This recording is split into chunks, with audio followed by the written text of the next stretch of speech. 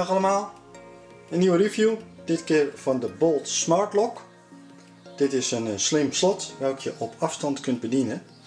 En dat met afstand dat gaat via de Bluetooth protocol. Nou, we zullen hem eventjes eh, uit de verpakking halen en nader bekijken. Nou, je krijgt een mooie oranje verpakking. Dus een mooi oranje doosje. En dan natuurlijk de verpakking zelf. Uh, dat klopt ook, want het is een uh, Nederlands bedrijf, dus dat is natuurlijk eigenlijk wel leuk. Uh, wat krijg je nog meer? Een aanleiding. Nou, daarin staat goed in omschreven hoe je moet installeren. En het installeren is eigenlijk een kwestie van de app installeren. Daarop installeren klikken. De knopje op de slot 5 seconden ingedrukt houden. En dan wordt hij gevonden. En het installeren in het slot, dat is een kwestie van de oude cilinder eruit halen. Deze even vergelijken met de nieuwe cilinder, met de, slimme cilinder. Uh, en dan kan je eventueel nog de maat daarvan aanpassen, laat ik zo eventjes zien. En hem dan weer vastschroeven en dan is het eigenlijk gedaan. Dus dat moet volgens mij iedereen wel lukken. Uh, nu we het toch even over het slot hebben, die zal ik er even bij halen. Nou, mooi staal slot is het voelt gewoon goed stevig aan. En dit is die cilinder waar ik het over had. Uh, eh, SGK-keurmerken zitten er ook op. Drie sterren. Dus dat is eigenlijk allemaal prima op orde. Uh, wat ik al zei van eh, dat misschien jouw cilinder een andere maat heeft. Daar worden wat afstandsblokjes voor bijgeleverd. Die zie je hier. Drie stuks met drie verschillende maten. En die kan je als het ware ertussen zetten om de maat van jouw slot te krijgen. Uh, er wordt ook nog een inbussleuteltje daarvoor bijgeleverd. Zodat je hem ook gewoon goed eh, los kunt halen. Het is allemaal helemaal compleet. En als we het toch over de installatie hebben, wordt ook nog een schroef meegeleverd dat je hem ook nog goed vast kunt schroeven. Uh, dat was eigenlijk de installatie. Dan de werking van het slot zelf.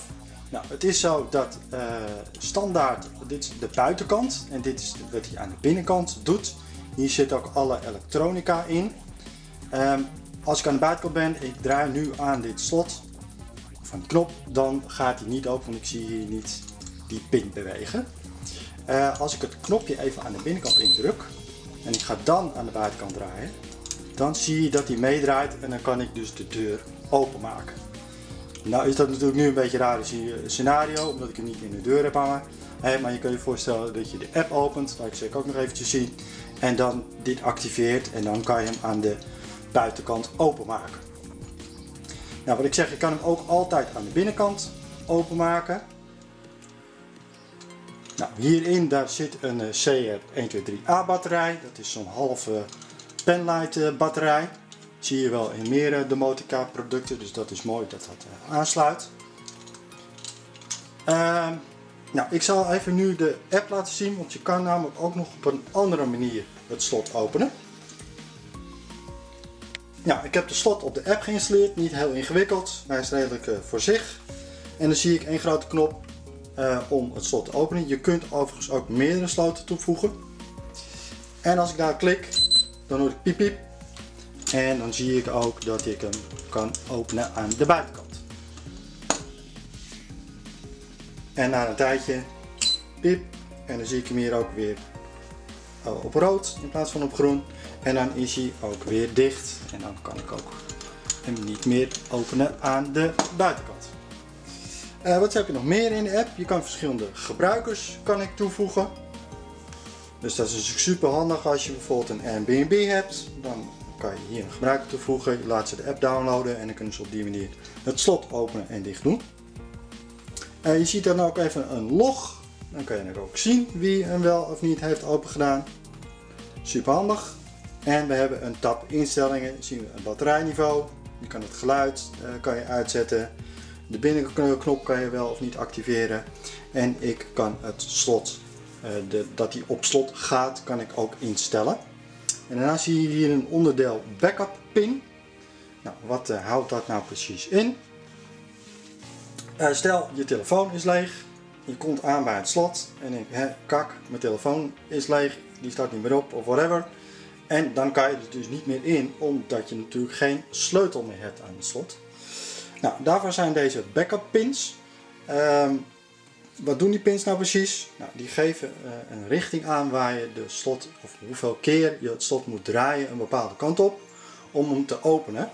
Bijvoorbeeld hier is een backup pin 43867. Die kan je overigens ook zelf genereren als je die code niet helemaal uh, fijn vindt. Um, en dan moet ik hem vier keer één kant opdraaien, drie keer de andere kant op, zes keer weer de andere kant op, etc. Uh, om het slot te openen. Dat uh, zal ik zo eventjes uh, laten zien. We kijken nog heel even verder. Nou, wat heb je daar nog meer? We hebben de firmware versie, kan ik hier updaten. Ik heb al een keertje een update gehad. En als laatste stukje heb je hier bovenin nou, het slot installeren, het profiel, of je profiel, de support, de hulp en, de, en het uitloggen heb je daar nog in. Relatief weinig instellingen. Ik geloof dat ze nog bezig zijn met, met de app. Um, en ik kan ook nog even hier home doen. En dan kan ik hier zien als ik meerdere sloten heb. Dan kan ik die op die manier uh, ook toevoegen. En dan krijg ik hier een heel rijtje. Nou wat ik zei, ik zal even laten zien als je hem dus met die backup pin openmaakt. Dan moet ik heel even de camera anders instellen. En ik ben weer zo terug. Nou, laten we even kijken of dat draaien ook werkt. Nou, we gaan 1, 2, 3, 4. 1, 2, 3. 1, 2, 3, 4, 5, 6, 7, 8. 1, 2, 3, 4, 5 en 6. 1, 2, 3, 4, 5, 6, 7. En je ziet dat ik op deze manier het slot ook open kan maken. Nou, super gaaf natuurlijk dat dat erin zit. Nou, wat ik nog even wilde melden is uh, dat uh, het slot 139 euro kost. En ik weet niet of ik al gezegd heb, maar hij is uh, volledig gecertificeerd met een SGK keurmerk met 3 sterren. En de beveiliging is ook allemaal tip-top in orde. Dus dat is ook wel goed geregeld. Ook de app is gewoon echt wel goed beveiligd. Waarbij ik ook een twee-staps authenticatie heb. Dus dat zit eigenlijk allemaal wel goed in elkaar. Het enige wat ik een beetje mis is een koppeling met je smart home systeem. Eh, als je daar natuurlijk kan koppelen, dan kan je natuurlijk veel meer dingen mee doen. Die mogelijkheid is helaas niet. En een andere mogelijkheid die ik mis is dat je als je in de buurt van het slot zou komen, dat die dan ook een mogelijkheid biedt om open te doen. Dat is helaas ook niet aanwezig. Ik geloof wel dat Bolt bezig, geweest, uh, bezig is om dat uh, te maken. Dus misschien komt dat in de toekomst uh, nog naar, naar voren toe. nou, dat was hem eventjes. Ik uh, zal het slot ook nog eventjes buiten installeren op de, in een deur. En dan kan je ook nog even zien hoe dat in elkaar zit. Nou, je ziet hier mijn uh, oude slot zitten. Dus even een kwestie van dit schroefje hier aan de zijkant loshalen. Dat zijn altijd vrij lange schroeven. Zet even geduld. En dan moet je altijd even een beetje beetje pielen om de cilinder eruit te halen. Als ik dan even de slimslot pakt, dan zie je dat hij bij mij redelijk hetzelfde is. Het gaat met name omdat die middelste pin goed zit. Dus in mijn geval gaat dat wel oké. Dus ik hoef niet die afstandhouders te gebruiken. Dan is het zaak dat je dit buitenste knop loshaalt. Want anders kunnen we hem niet erin doen. Nou, dan is het een eh, kwestie van uh, de nieuwe cilinder weer terugzetten.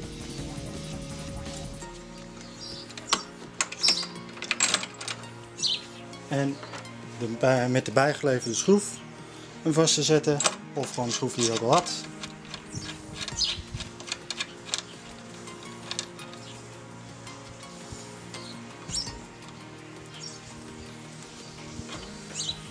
Het moet gewoon handvast, hoeft niet uh, heel erg vast.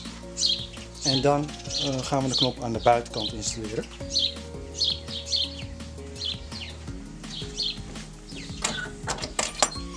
Hierbij moet je even goed kijken dat hij goed om zit. Want er zitten hier van die kleine pinnetjes. Ja, dan is het een kwestie van weer even vastdraaien.